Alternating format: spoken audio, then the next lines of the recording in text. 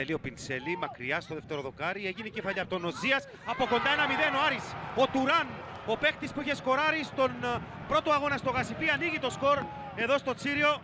Ωραία εναλλαγή της μπάλας από τους παίκτες της Ομόνιας και ο Κυριάκου. Ετοιμάζεται για την σέντρα. Στο ύψος του πέναλτι κεφαλιά από τον Εφρέμ. Να η πρώτη μεγάλη ευκαιρία για την Ομόνια. Σκαραμοτσίνο από πολύ μακριά το σουτ πέφτει ο Κωνσταντίνου.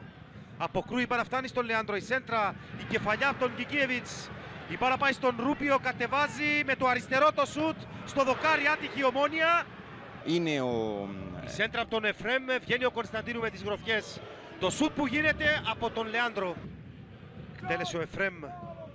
Απομακρύνθηκε η μπάλα από τον Τίνα. Ο Κυριάκους ένα πολύ καλό σουτ.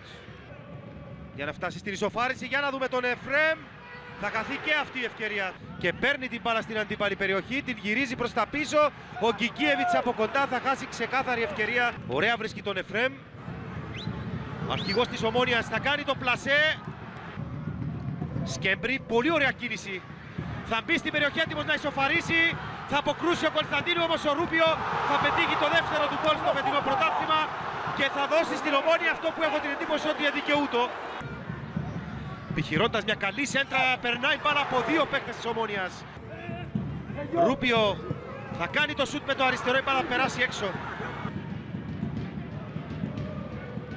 Τουράν θα κάνει το σούτ, αποκρούει ο Μορέιρα και στερεί τον Άρη από την επίτευξη του δεύτερου τέρματος σε χρόνο καθυστέρησης. Ο Τουράν, ενώ ο Μορέιρα είναι εκτός εστίας, ο Τουράν θα κόψει, θα φέρει την μπάλα στο αριστερό, θα κάνει το σούτ, αποκρούει ο Μορέιρα, ο Τίνα από πολύ κοντά θα γυρίσει, δεν θα μπορέσει να σουτάρει.